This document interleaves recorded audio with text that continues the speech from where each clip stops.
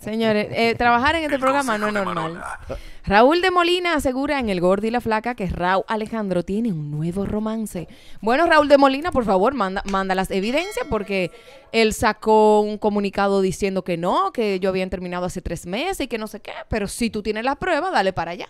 Pero si no tiene la prueba, decir eso es una irresponsabilidad. Mientras tanto, saca, saca. Que nada más vimos a la colombianita, que es una muñeca.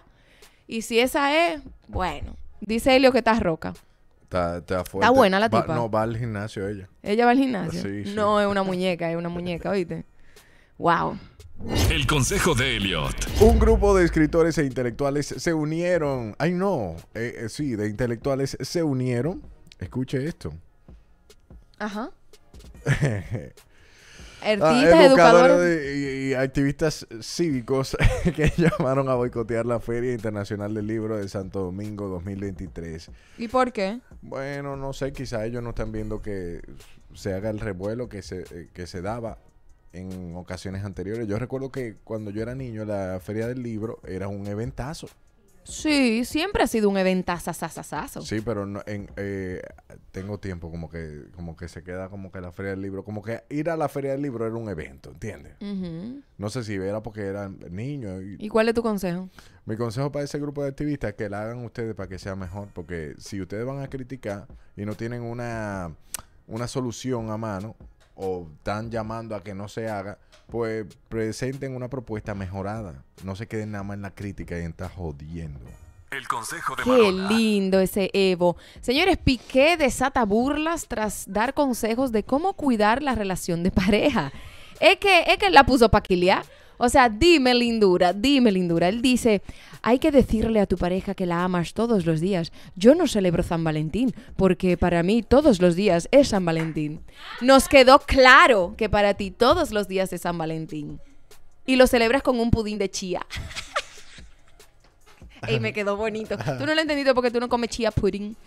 Eh, mi querido Piqué, te aconsejo que calles tu boca, silencies todo lo que tengas que decir sobre relaciones de pareja porque no es el momento. Porque aunque tú consideres que tu crisis ha pasado, mi amor, todavía sigues en el ojo del huracán.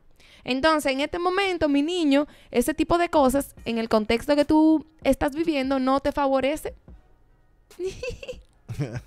Así que vas a ser víctima de bullying por esa estupidez que dijiste. Gracias. El consejo de Elliot.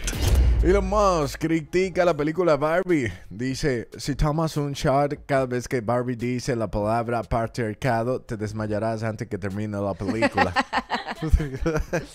Elon, mira, mi consejo es que intente hacer stand-up comedy, papá. Porque yo creo que nada más leyendo tus tweets y algunas declaraciones tuyas, de verdad, man, tú, tú das demasiado risa.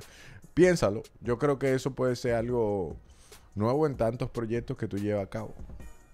El consejo de Marola. Madonna está celebrando 40 años de carrera desde el lanzamiento de su primer álbum, Madonna. Señores, 40 años. Bueno, mi querida Madonna, eh, tú has sobrevivido en esta industria del entretenimiento de una manera increíble. Esperamos que este, primero te sanes, ¿verdad? Y que, y que estés mejor de salud para seguir celebrando y que mm, eh, nos sorprendas con este nuevo lanzamiento de tu primer álbum, Madonna. El consejo de Elliot. Bukele arremete contra Boric tras críticas a su gobierno. Los chilenos son más que su presidente. Bueno, esos chimecitos, Bukele, si tú eres tan bien valorado, no te detengan. ¿Por qué que tú eres tan anti-Bukele? ¿Por qué Porque- que te quilla Porque Bukele? entiendo que la historia está ahí para que no se repita. Ah, claro, igual, igual que aquí. Exacto, igual que aquí, igual que como inició el sátrapa en este país. Mm. Que todo el mundo lo veneraba, lo valoraba, hasta que comenzó a aplicar lo que era. Sí, yo no Y estoy de acuerdo con las momento. dictaduras, pero en nombre de la democracia aquí se han cometido cosas peores.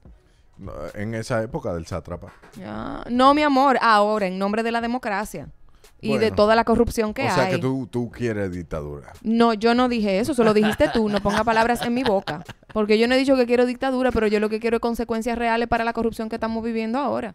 Ah, ok.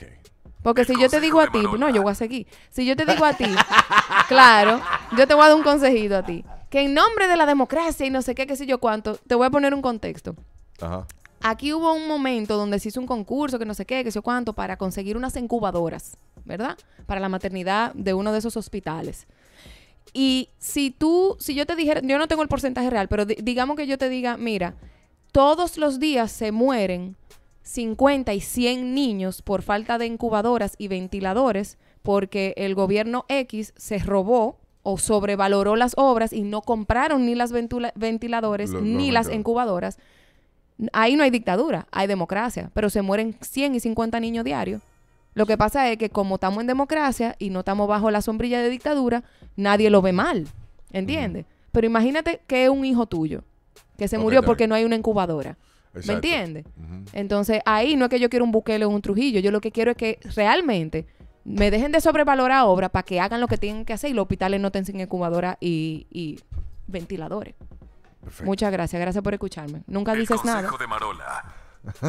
Guido Gómez Mazara dice, rechaza que Embajada de Estados Unidos depure candidatos a elecciones en RD. ¿Por qué será, eh? Porque Trompita habla. Habla ahí. No, no. Ah, Te- te- te estaba- nada, ya yo dije lo que tenía que decir, que tú le vas a recomendar a Guido. A Guido Gómez Mazara, yo entiendo que cada país es independiente y en ese, en ese aspecto yo lo apoyo. Ahora bien, ¿por qué están buscando autoridades? ¿Por qué será? Di. Bueno, según lo que me explicaron, eso lo hacen los partidos para, tú sabes que la DEA y todo eso, para que depuren a los candidatos que posiblemente puedan tener algún vínculo con narcotraficantes. Evidentemente. Entonces. Ah, porque hay que sacar mucha gente, porque aquí hay que limpiar este país. es por eso que lo hacen. Entonces, eh, partiendo de esa premisa, independientemente de la razón por la que se haga, se supone que la justicia ahora es independiente. Y como es independiente, pues que el, eh, el- el Ministerio Público haga su gestión y haga su trabajo y, y vigile que no se esté entrando a la política dinero que no... Mal habido. un dinero, tú sabes, Yeah. de lo de Hunter. eh, de, de Hunter. Bueno, señores, vámonos a una pausa y retornamos en Adana y Evo.